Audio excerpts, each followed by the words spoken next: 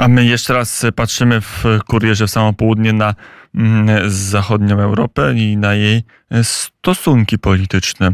Naszym gościem Zbigniew Stefanik, politolog. Dzień dobry. Dobry, witam Państwa.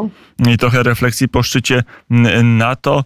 Jak decyzje Sojuszu Północnoatlantyckiego zostały przyjęte we Francji? Jak Francja teraz się sytuuje w kontekście polityki obronnej sojuszu? Otóż e, z pewnością no, jest to pytanie, które zasługiwałoby na, na, na dłuższą wypowiedź niż e, kilka minut.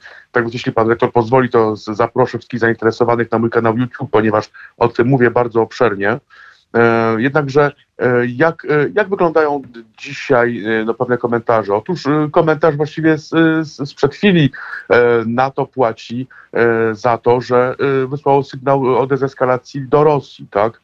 Czym płaci? No właśnie zerwaniem przez Rosję u tak zwanej umowy zbożowej, no, która to zerwanie trzeba uznać za bezpośrednie odpowiedź Kremla na decyzje, decyzje powzięte, powzięte przez NATO.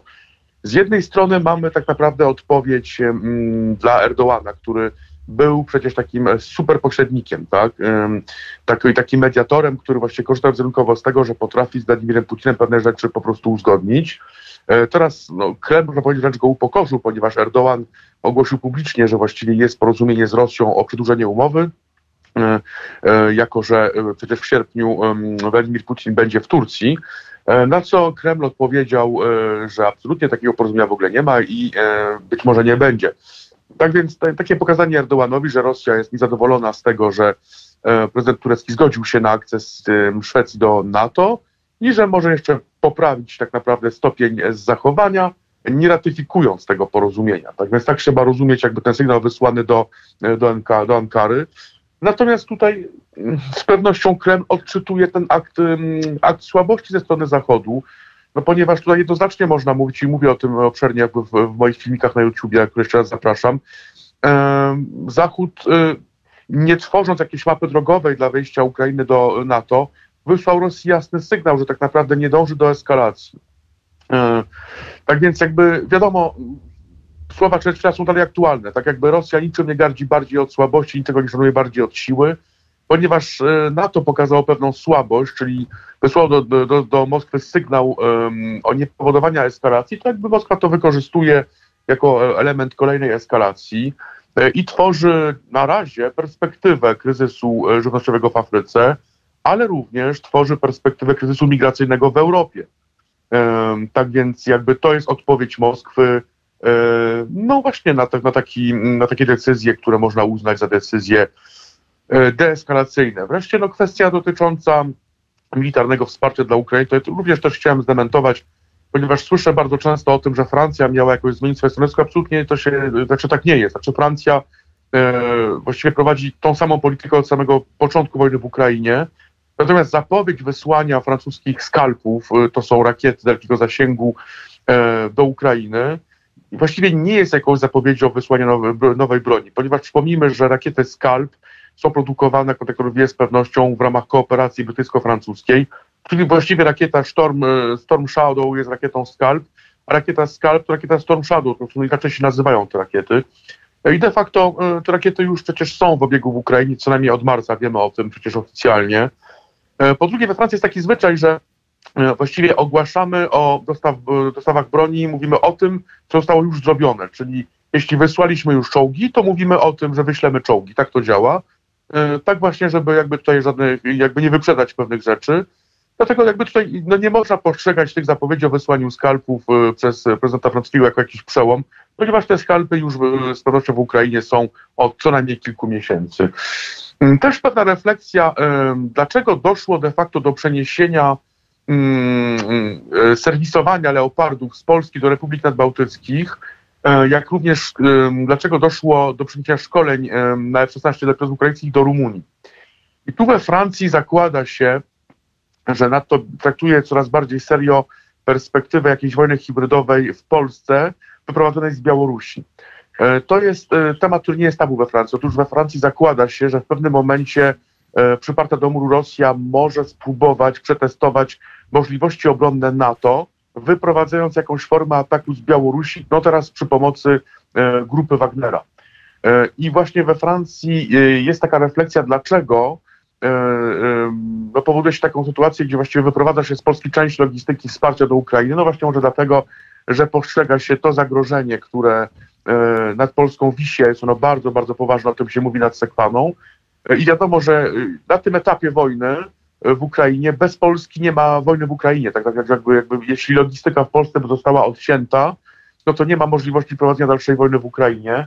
E, I więc być może dlatego te decyzje nie są jakąś porażką e, tych, rząd, tych tamtych właśnie polityków, tylko po prostu są decyzją, która ma no niejako zapobiec sytuacji, gdzie dochodzi do, w Polsce do jakichś przykrych zdarzeń, E, i logistyka wojny w Ukrainie jakby na tym cierpi. Tak więc no jest to temat, który we Francji jest analizowany, tak więc przedkładam to Państwu pod refleksję. Natomiast co do samego szczytu, otóż we Francji narasta, o tym zresztą również mówię na swoim kanale, narasta niechęć do, do wsparcia dla Ukrainy, ponieważ we Francji narastają obawy dotyczące III wojny światowej. E, I tutaj jest takie poczucie we Francji, że właściwie to wsparcie niewiele wniosło, czyli jakby wojska ukraińskie nie odbiły swego terytorium i staje się to raczej coraz mniej prawdopodobne. A więc jaki sens ma dalsza eskalacja militarna, skoro ona nie przynosi jakiegoś przełomu? Wreszcie Francja przyjęła nową perspektywę budżetową na swoje siły zbrojne. To powoduje, że we Francji istnieje świadomość, że Francja jako państwo ma poczucie bezpieczeństwa, ponieważ posiada broń atomową, natomiast jeśli chodzi o siły zbrojne, to na tym etapie nie byłyby gotowe na odpieranie ataków e, dużej intensywności w charakterze konwencjonalnym. Czyli obecnie e, to, co Francji gwarantuje bezpieczeństwo, to właśnie broń nuklearna, natomiast wojsko francuskie potrzebuje dozbrojenia e, i potrzebuje dofinansowania. To się ma wydarzyć w następnych latach, ale się jeszcze nie wydarzyło. A więc w sytuacji, gdzie wojsko francuskie faktycznie do, m, potrzebuje dofinansowania, perspektywa konfliktu o dużej intensywności no we Francji e, no, wpływa negatywnie na, e, na świadomość Francuzów. E, tak więc no tutaj już jakby pewne tabu zostało przełamane we Francji i część polityków, pierwsza była Marine Le Pen, mówi o tym, że właściwie dalsze wspieranie Ukrainy, wspieranie militarne, po pierwsze nie wnosi, niewiele wnosi na froncie w Ukrainie, a po drugie tworzy realną perspektywę III wojny światowej, której to Francja nie chce.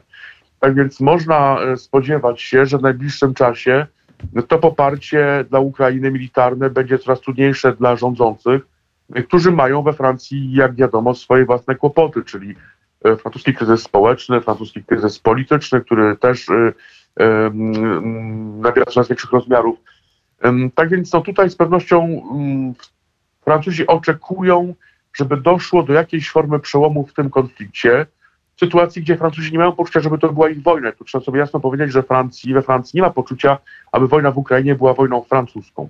E, dla francuskiego obywatela w Ukrainie jest tym samym, co wojna w Sudanie, w Jemenie, jakakolwiek inna wojna na świecie. To jest tragedia z pewnością, ale nie ma poczucia, żeby to była jakaś wojna e, francuska.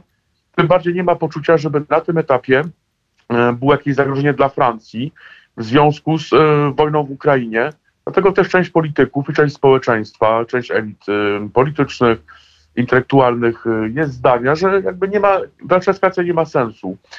Zwłaszcza, że klasa biznesowa zwraca uwagę, że Francja traci tak naprawdę na tej wojnie. I podobnie jak w sytuacji sankcji, które Donald Trump narzucił wówczas Iranowi w roku 2018 i na tym właściwie głównie stracił biznes europejski, to teraz jest takie poczucie we Francji, że tym razem traci biznes e, francuski, też europejski, no, ponieważ Francja była pierwszym pracodawcą w Rosji, jak wiadomo.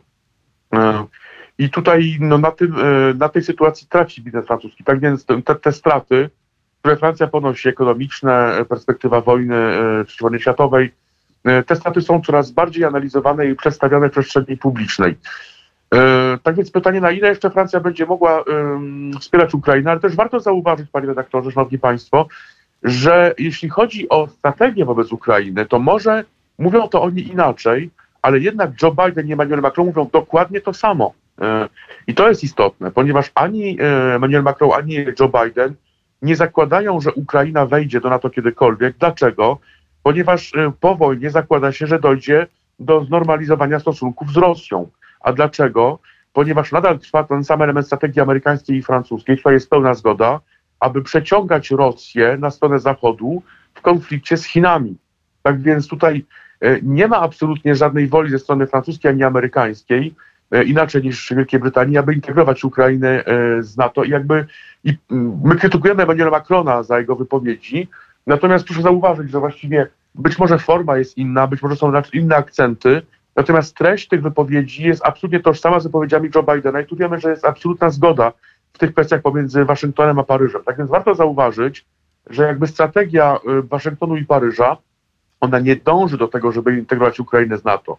Ona dąży do tego, żeby z jednej strony y, tą wojnę zakończyć na warunkach jak najbardziej korzystnych dla Ukrainy, ale oczywiście dla Zachodu, bo to, bo to o to chodzi, ale po drugie, aby stworzyć pewien kontekst, który po pierwsze nie stworzy trwałych, trwałych powodów do napięć w Europie, a po drugie umożliwi nowe, nową erę w stosunkach zachodnio-rosyjskich. I zdaje się, że w Polsce nie ma tej świadomości, że tak to widzi Zachód.